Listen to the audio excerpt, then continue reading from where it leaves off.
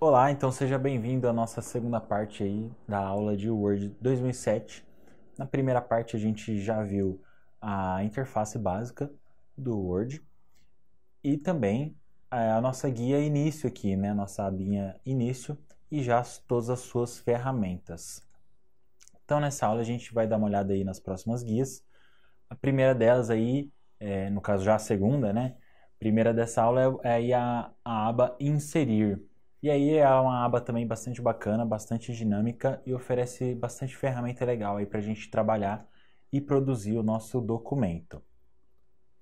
Então na nossa caixinha aqui de páginas a gente já tem é, algumas opções bacanas. A primeira delas é, seria uma página de rosto, se você quiser, ele tem alguns modelos que você pode utilizar sem problema nenhum. Então você insere aí uma. É, ele chama de folha de rosto, mas a gente pode utilizar como capa também, né? Sem problema nenhum. Depois a gente tem página em branco. Então insire uma nova página em branco na posição do cursor. E o que, que significa isso? É exatamente onde o cursor estiver, ele vai pular para a próxima página e deixar uma, uma página em branco certinho. Veja que é diferente da quebra de página. A gente vai diminuir o zoom aqui, ó para você compreender como é que funciona isso. Então vamos tirar essa página aqui primeira, essa segunda página, desculpa. E eu vou colocar o cursor bem aqui na metade aqui, ó, entre os dois parágrafos que a gente tem aqui, os dois tópicos, né? E clicar em quebra de página, ó. Aqui ele simplesmente quebrou a página e seguiu a página exatamente onde o cursor estava, até aqui sem novidade. Então a quebra de página serve para isso. Vamos entender um pouquinho melhor a questão da quebra de página. Por algum motivo, vamos supor que o seu texto termina aqui e você quer que essa segunda parte aqui, ó, é, vá para a segunda página. O normal, assim, o que é o mais comum das pessoas fazerem, é apertar um monte de enter assim, ó, né? E aí, ó, beleza, ele cria uma outra página e tá tudo certo. Daqui a gente continua, correto? Mais ou menos, mais ou menos. Então, o que acontece? É, quando a gente faz dessa forma, qualquer alteração que a gente fizer aqui vai alterar necessariamente aqui também. E como que a gente sabe disso? Se você assistiu a primeira parte aí, primeira aula, é, quando a gente clicar aqui em mostrar tudo, a gente vai ver que cada, cada enter que a gente aperta, ele gera um novo parágrafo. E esses novos parágrafos, eles podem subir e descer, vamos dizer assim, entre aspas, né? Conforme qualquer alteração que a gente fizer. Por exemplo, é, a gente chegou aqui e aumentou o tamanho do texto. Aqui, ó, já começa a descer junto, tá vendo? E assim por diante. Ou diminuiu alguma linha, poxa, essa linha aqui saiu da jogada, né? E aí o que, que vai acontecer? O texto vai subir, né? Vai voltar para essa página. E não é isso que a gente quer. A gente quer que ele vá para outra página e fique lá. Não importa a alteração que a gente faça nessa página. Então, uma forma delas, né, seria utilizando aí a quebra de página. E aí, ó, ele coloca uma quebra aqui. E aí daqui para frente, tudo que a gente fizer, mesmo se a gente apertar um monte de enter, ó, ou mesmo se a gente aumentar o texto aqui, ó, né, não vai interferir nesse cara aqui. Né? Então, por isso, porque a gente utiliza quebra de página. Aí ele fala, olha, não importa o que vier antes ou depois, daqui para frente é outra página. Beleza, até aí tudo bem, tudo legal. Mas a gente já entendeu a quebra de página, mas por que, que existe então a página em branco se é mais fácil a gente inserir uma quebra de página? Porque pode ser que por algum motivo você realmente precise inserir uma página inteira em branco. E aí Olha só o que, que ele faz. Ele insere uma quebra de página, coloca a página em branco nossa certinha aqui, disponível para a gente fazer o que a gente precisar. E aí já tem mais uma quebra de página para aí sim o nosso texto continuar aqui. Tá? Então essa é a diferença entre inserir uma quebra de página ou inserir uma página em branco inteira, que é o que ele faz aqui. Ele está com, com essas marcações aqui, mas se a gente ocultar, aqui ó, beleza, é assim que a gente vai visualizar. E aí tá aqui nossa página em branco, tá? Então, bacana a diferença entre as, as duas funções. Depois a gente tem ali, ó, uma caixinha tabelas e aí sim, ó, inserir tabelas, né? Aqui a gente pode é, inserir a, tabela conforme a gente quiser até o tamanho 10 por 8, né? Então, veja bem, aqui ele vai dando até uma prévia de como vai ficar a nossa tabela ali já, né? Isso sem clicar nada, só mexendo o cursor do mouse aqui. E aí, a partir disso, dá um clique e nossa tabela já está prontinha ali para trabalhar. A gente não vai se aprofundar aqui na manipulação de tabelas, mas a forma mais fácil e prática de, manipula de inserir uma tabela no Word é aqui através da guia Inserir Tabela. Depois a gente já tem aqui ilustrações, então conseguimos inserir com bastante tranquilidade. Qualquer imagem né, que tiver no nosso computador, ele abre aqui e a gente procura essa imagem. É, depois a gente tem clipart, formas. Então aqui são diversas formas que ele também dá prontinho para a gente inserir, desde as mais básicas, né, quadrado, elipse, retângulo arredondado, triângulo, enfim, até balãozinhos de fala e de pensamento, por exemplo. E aí basta clicar e fazer aqui o nosso é, o tamanho, né? Mostrar para o Word o tamanho que a gente quer nosso balãozinho. E aqui ele já está pronto para a gente digitar. Perceba que ele já colocou aqui o texto com o estilo é, normal aplicado, como a gente tinha colocado desde lá do começo, né? Então, é bastante interessante isso também, que a gente consegue aplicar estilo dentro das caixas de texto. Depois de formas, a gente tem Smart Art. Se você precisar de alguma coisa mais específica, né? Pode ser que você precise de fazer um, enfim, um fluxograma, enfim, alguma coisa nesse sentido. Você tem tudo aqui, o Word faz de forma automatizada para você, bastante fácil e intuitivo. Depois a gente vai ter gráfico, também conseguimos inserir gráficos numa boa de todos os tipos que a gente precisar, né? Ele coloca aqui bem tranquilo. Então aqui a gente tem a nossa caixinha de ilustrações. É interessante que nenhuma delas tem tecla de atalho. A gente precisa vir até aqui para fazer essas ações. Depois links. Então, hiperlink, se você precisar colocar no seu documento por algum motivo um, um, um link para a internet, né, para qualquer site da internet, você consegue fazer aqui numa boa. O indicador, é, se você precisar criar algum indicador no, no documento mesmo, para você fazer uma navegação no seu próprio documento, você faz aqui também, sem problemas. E referência cruzada, que seria é, se você precisar apontar algum lugar do seu texto, do seu próprio texto, tá? Então, alguma figura que você tem, alguma tabela, você consegue fazer referenciar aqui mesmo, né? Então fazer a referência de algum elemento dentro do seu próprio documento. Depois você tem cabeçalho e rodapé, então isso também é algo que ajuda bastante, dependendo do que você estiver produzindo, você facilita bastante aqui. É, a gente pode chegar no cabeçalho e rodapé através de, desses botões ou clicando duas vezes aqui na parte de cima. E aí ele abre o modo de edição de cabeçalho e rodapé, onde a gente tem diversas opções aqui que a gente consegue é, trabalhar ele.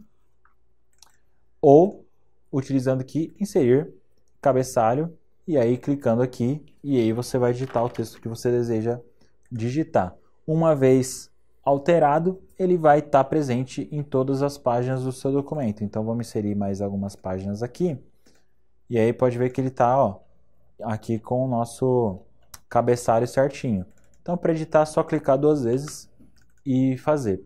Então inserir cabeçalho, tá? Pode ser três campos, pode ser de diversas formas, ele facilita esse trabalho para nós.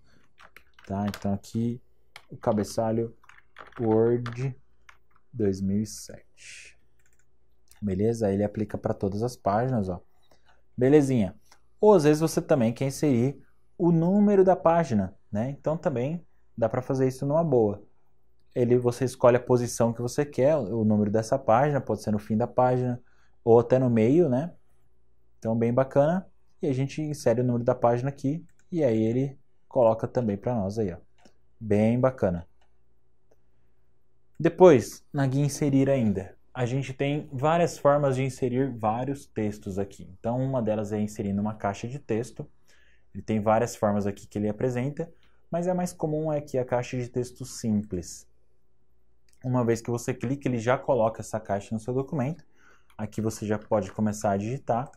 E aí ele é um texto aí, vamos dizer assim, flutuante, né? A gente pode colocar ele em qualquer posição aí do nosso texto.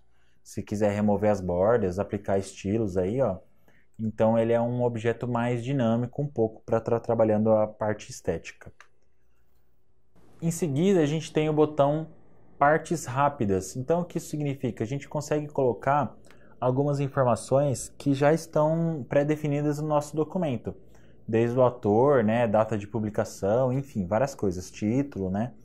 Então, é, ele insere isso no nosso texto. Então, você, você tendo todos esses campos já pré-definidos no seu documento aqui no Word, você, é, uma vez que você altera, em todos os lugares que ele tiver a parte do título, ele vai alterar também junto, tá? Então, ele vira um, um campo de texto dinâmico. É, você alimentando ele certinho com todas as informações, ele vai alterar no seu texto todo. Então é bem bacana essa parte. Depois a gente tem o Word Art, algo que já não temos mais nas últimas versões, mas enfim, são, são formas de, é, de trabalhar a estética do nosso texto, né? Então aqui a gente pode colocar aqui é,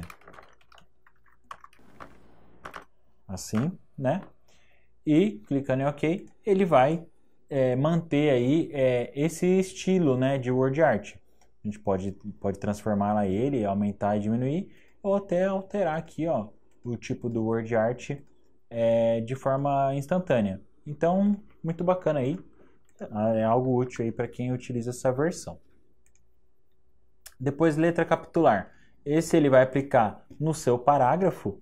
Então, pode ver que eu estava aqui num parágrafo sem texto nenhum, o botão não estava nem ativo. Uma vez que a gente está aqui, consegue inserir aí ó, aquela letra de capítulo, né, de início de capítulo, utilizada em alguns livros, né? Pode ver que é uma letra que ocupa aí três linhas. Então, também você tem essa opção aqui se precisar, ou até mesmo na margem, também é outra opção. Depois, linha de assinatura. Então, se você está fazendo algum documento, sei lá, uma procuração, e você precisa que alguém assine, você consegue fazer esse esse, essa linha aqui numa boa. Só preencher os campos. Na hora que você apertar OK, ela vai estar tá prontinha aqui. E você vai falar para a pessoa, olha, assina aqui no X. E aí vai estar tá aqui bem, bem facinho. É uma opção aí que a gente consegue. Data e hora, se você precisar, inserir a data inteira, né? Com hora, sem hora, você consegue. De forma automática, não precisa estar tá digitando isso manualmente. E também objeto. O objeto, na verdade, ele vai chamar algum arquivo é, exterior, né? Aí cada um vai ter sua, sua forma específica, seja, enfim, um, uma imagem, um, uma planilha do Excel, enfim. Você consegue inserir arquivos externos aqui, ou texto de determinado arquivo também. Se você precisar só do texto de algum arquivo, você consegue inserir. Então, também é bem bacana. Por fim, da nossa guia inserir, a gente tem equação. Então isso é bastante bacana. Se você está digitando aí, sei lá, uma prova de matemática, alguma coisa mais específica, você consegue, é, através de uma ferramenta específica aqui, ó, de, de equações, tá? Fazer tudo aqui certinho, fração, radial, integral, tudo certinho. E aí você faz sua equação perfeita, ela vai estar tá perfeitamente é, visualizada no, no documento. Tá? Então, muito interessante essa ferramenta do Word. E por fim, símbolo. Se você tiver algo específico que normalmente não tem no nosso teclado, símbolo de libras, ien, sei lá, né? E, sei lá, pi, alguma coisa assim. Você consegue aqui nessas, nessas, nessa janela, ou até mesmo clicando em mais símbolos, ele vai dar mais opções ainda de símbolos que a gente não tem no teclado. Então também bastante bacana. Depois da nossa aba inserir, temos a aba layout da página. Também é uma aba é, muito bacana, tem bastante ferramenta legal. A primeira delas é a temas. Então o Word também sugere alguns temas se você quiser trabalhar no seu documento. E aí, o lance dos temas é que ele vai trazer aí um padrão estético visual para o seu documento. Então, você vai escolher aqui algum que te agrade. Então, desde a fonte até as coisas das fontes e dos títulos e tudo mais, ele vai seguir um padrão. Então, isso é bem bacana. E depois, se você quiser, você consegue alterar coisas específicas dos temas. Seja ele é, a paleta de cores que vai trabalhar, o grupo de fontes ou mesmo os efeitos visuais também. Então, aqui a parte de temas. Em seguida, a gente tem a caixinha configurar página, tá? Então, essa é bem legal também, porque a gente tem aqui as definições de margens, tá? Então, aqui já são as margens padrão que vem no Word. Pode ser que por algum motivo você precise alterar elas ou utilizar algum padrão que ele já vem aqui, ou até mesmo colocar manualmente as margens conforme a sua necessidade. Depois a gente tem a orientação, que é o famoso em pé ou deitado, né? Mas aí a gente precisa usar a nomenclatura correta, que é o modo retrato ou modo paisagem da folha, tá? Se você precisar alterar aqui, ele altera na hora e já adapta o seu texto aí para o tamanho da folha, ó, numa boa, numa tranquilo. E aí, claro, né? Tudo isso vai alterar o documento inteiro. A gente não consegue ter uma página de um jeito e outra de outra, não tem como. O tamanho da página, então, aqui também bastante importante a gente trabalhar com o tamanho correto, né? Sabendo aí que é o tamanho A4 certinho, para bater com o tamanho que vai sair na nossa impressora. Depois colunas, aí colunas aqui é bem bacana. Apesar de a gente estar tá aqui no nosso configurar página, o colunas altera necessariamente o parágrafo que a gente está editando. Então vamos ver como funciona. Estou com o cursor aqui nesse parágrafo e aí eu quero esse parágrafo em duas colunas. Então o que ele fez na verdade foi colocar realmente a página toda. Vamos testar no caso se a gente tivesse só selecionado aqui esse texto. E aí agora sim, uma vez que a gente só selecionou um parágrafo, né? E aí ele coloca esse parágrafo nas colunas que a gente selecionou. Do contrário, ele coloca a folha inteira em duas colunas, tá? Então, é, se você precisar trabalhar em colunas no Word, você consegue com bastante facilidade aqui no menu é, layout da página. Depois a gente tem mais algumas opções de quebras, né? Além da quebra de página, temos quebra de coluna, quebra automática de texto, quebra de seção também. Temos números de linhas, se você precisar numerar a linha por algum motivo, é a redação do Enem, máximo 30 linhas. E você consegue colocar aqui a numeração, tá? É... E aí você escolhe se você quer ela, a numeração contínua, no início de cada página, de cada seção, ou só do parágrafo atual, né? Então, você consegue escolher essas opções. Depois a gente tem hifenização. E aí o que, que isso quer dizer? Por padrão, o Word não hifeniza as palavras, ou seja, ele não quebra a palavra aqui no meio. Por exemplo, tem essa palavra aqui, então ele não faz isso aqui com as palavras, ó, de colocar o hífen e quebrar para a próxima linha. Ele não faz. Mas se de repente for o seu caso e você quiser que ele faça isso, você consegue. Então aqui no Word você pode colocar de forma automática e aí ele vai é, infernizar as palavras que ele conseguir. No caso aqui, nesse idioma, ele não, não vai, mas a gente pode tentar aqui colocar algo tipo continuar. Não sei, teria que estar tudo em português aqui e a gente ia ver que ele, ao invés de ele, é, principalmente aqui no ajustado, né, no, no justificado, desculpa, no justificado, ele, ao invés de jogar a palavra inteira para baixo, ele ia quebrar ela no meio aqui e na sílaba, né, certinho. E aí ter os hífens certinho. Se for uma opção sua, você pode vir aqui colocar automático. Por padrão, o Word vem sem nenhuma hifenização. Depois a gente tem marca d'água. A gente pode colocar uma marca d'água, de repente você está mostrando aí só um rascunho do seu trabalho aí para alguém, não quer que a pessoa, sei lá, copie isso, sei lá, de alguma forma você consegue aplicar a marca d'água aí numa boa, ou até personalizar se você quiser colocar a logo da sua empresa, né, uma marca d'água de imagem ou de texto aqui, enfim, você define a sua marca d'água. Bem fácil, bem simples, né? Depois, hora que quiser, é só remover. Cor da página. Então, isso, na verdade, é mais para você é, visualizar. É, ele, não, ele não deve imprimir essa, essa cor. Ele entende que a folha que você está usando é dessa cor já. Né? Então, visualizar a impressão. Pode ver que na visualização, a impressão está na cor branca mesmo. Então, essa cor da página, ele não imprime, ele só simula que a folha que você está usando é dessa, dessa cor mesmo. E também bordas na página, você consegue aplicar aqui ó, com tranquilidade. É, você pode aplicar grossuras de borda, cores, enfim, até estilos aí se você quiser. Ó. E aí ele aplica as bordas na página para você. Então também muito fácil, se você precisar aí de algum decalque nesse sentido, é bem fácil de conseguir.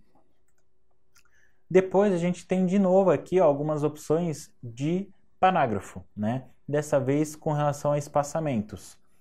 Então, a primeira delas é o recuo tanto à esquerda, né? Ó, pode ver que ele move aqui essa, esse, essa ampulhetinha aqui do, na nossa régua, né? Que não tem a ver com a margem, a margem está aqui ainda. Então, aqui é o recuo do texto tanto à direita quanto à esquerda. A gente consegue regular tranquilo.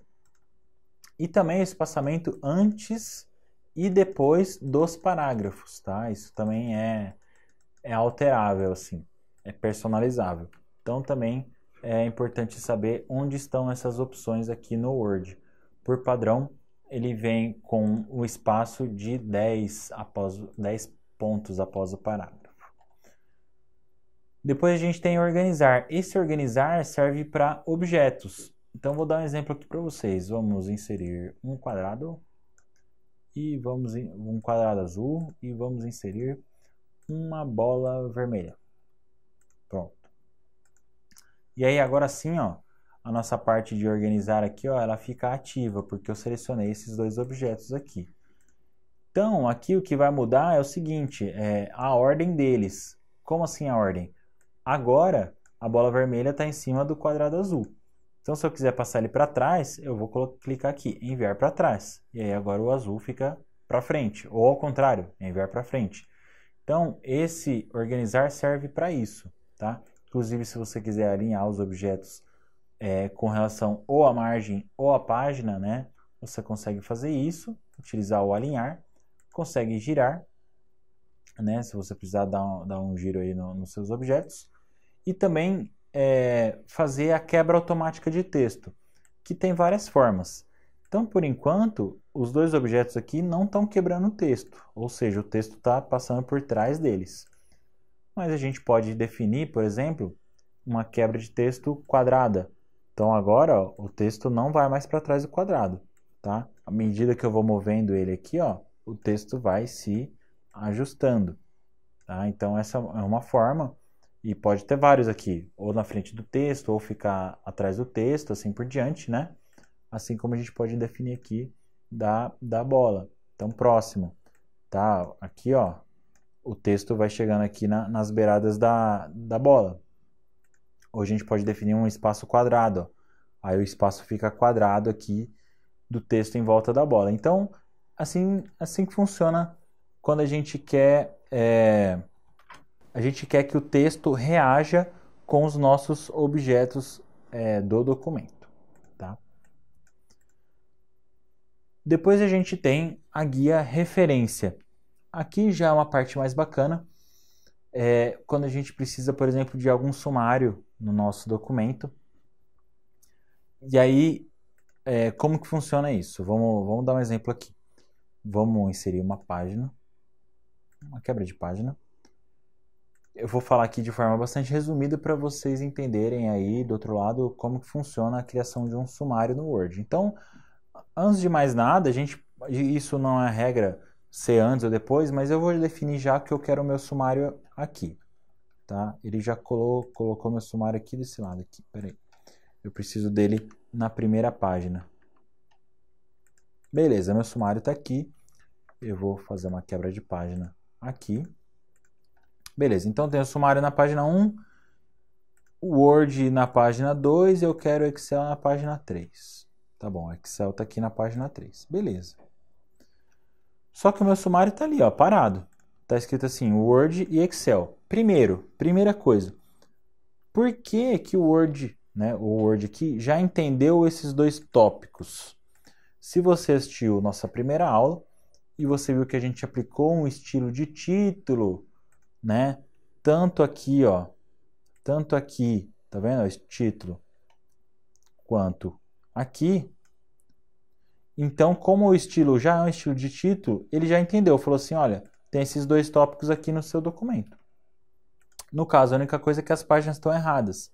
Mas aí basta a gente vir aqui, clicar em atualizar sumário, né? E aí pronto, ele atualizou certinho. O Excel está na página 3, como a gente colocou lá. Então é assim que funciona o sumário. A gente aplicando estilos de título no nosso documento, ele já vai entender ele como, como tópico e vai colocar aqui no seu sumário de forma automática. Você viu que ele fez isso sozinho. A gente não precisou acrescentar nada. Mas vamos supor que a gente queira mais um tópico. Então agora vai ser o tópico do, do PowerPoint. Um exemplo. Então vamos quebrar a página aqui. Vai ser o PowerPoint. Tudo bem. vamos supor que a gente não aplicou o nosso título. A gente não aplicou o nosso título, mas eu quero isso aqui, que apareça PowerPoint na página 4 lá no sumário. Como a gente faz? A gente pode usar também aqui, ó, adicionar texto nível 1. Beleza, beleza. E aí agora, automaticamente ele já aplicou até o título, de, o, desculpa, o estilo de título, né? E aí indo lá na nossa primeira página no sumário, aqui, ó, na primeira página, vamos de novo atualizar sumário, atualizar índice inteiro, e ele já colocou aqui, ó, PowerPoint na página 4. Então é assim que funciona o sumário. A gente vai acrescentando aqui ó, textos em níveis 1, 2 ou 3.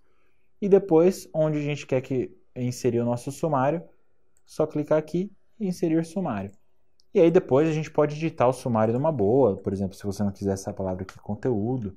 Se você quiser escrito sumário, enfim. Aí você pode editar ele, definir aí se você quer os textos negritos e tal. Aí é bem tranquilo de editar. Mas ele faz isso de forma automática. Aí depois a gente consegue também inserir nota de rodapé. Então eu estou aqui no meio do meu texto aqui, ó. E aí eu falo, poxa, eu vou inserir uma nota de rodapé. Então veja bem, ele já insere, vamos aumentar o zoom aqui, que ele está pequeno, né? Aqui, na nossa página 2. Ele insere já a, o número 1 ali, né, ó, de, de nota de rodapé o cursor do mouse já fica diferente quando a gente coloca ele em cima, né? E aí eu posso colocar aqui, a, é, ele já cria isso aqui de forma automática, a nota de rodapé. Então eu vou colocar aqui é, exemplo de nota de rodapé. Tá bem. Tá feita aqui nossa nota de rodapé. Colocando o cursor em cima do número 1, ó, ele vai colocar exatamente a nossa nota ali nesse quadrinho. Então, é bem fácil de fazer isso no Word assim como também uma nota de fim. Então, por exemplo, se for fim de capítulo, alguma coisa assim, mesma coisa. Só colocar aqui e ele vai fazer isso aqui de forma automática para nós. É, você consegue navegar entre as notas de rodapé ou até mesmo mostrar todas as notas de rodapé. Tá? Então, bem legal também de fazer. Depois, citação. Esse é bastante interessante também.